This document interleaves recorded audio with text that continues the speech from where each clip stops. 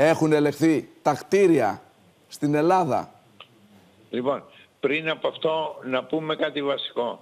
Η βασική παραδοχή του αντισυσμικού μας κανονισμού είναι ότι όταν ένα κτίριο φτιαχτεί σωστά, μελετηθεί και φτιαχτεί σωστά, και δόξα τω Θεώ μπορούμε να φτιάξουμε τέτοια κτίρια, μπορεί να αντέξει πολύ μεγαλύτερους σεισμούς από αυτούς που είναι υπολογισμένο, χωρίς να καταραίει.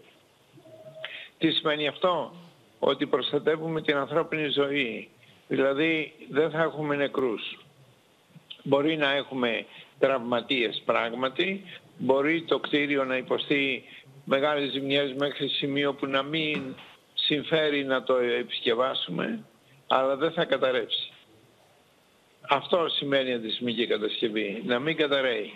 Σωστά, αλλά αν καλά γνωρίζω, πάνω από το 50% των κατασκευών είναι πριν από τον τελευταίο α, αντισυσμικό κανονισμό, ο οποίος θεωρείται ε, σύγχρονος.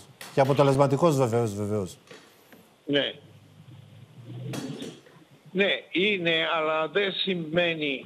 Κοιτάτε, τα πιο επικίνδυνα κτίρια για μένα και θέλουν έλεγχο είναι της περίοδου 1960-1984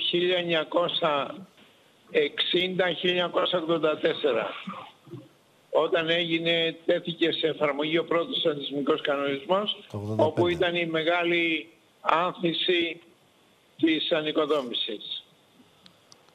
Γίνεται τακτικός έλεγχος όμως των κτηρίων και των υποδομών που έχουμε φτιάξει τα τελευταία χρόνια; Δυστυχώς όχι.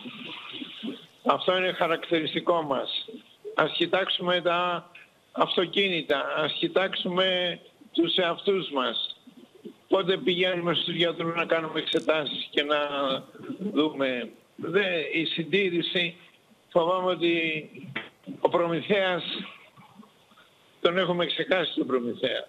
Μάλιστα. Τα είπατε όλα κύριε καθηγητά. Κύριε Γαρίθη, σας ευχαριστούμε πάρα πολύ.